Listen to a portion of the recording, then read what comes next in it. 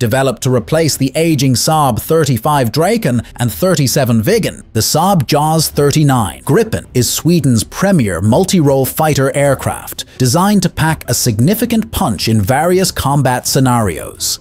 It features a delta wing and canard configuration with relaxed stability design, which enhances its maneuverability and agility in dogfighting. The aircraft's cockpit is designed with human-machine collaboration in mind, featuring multi-function displays and a heads-up display integrated into the pilot's visor. The latest variant of the Gripen, the JAS 39EF has been significantly overhauled to perform on par with advanced fifth generation fighters like the F 35. The Gripen E also features 10 hardpoints, allowing it to carry a variety of armaments and pods, and has a turnaround time of 10 minutes for air to air missions and 20 minutes for air to combat missions.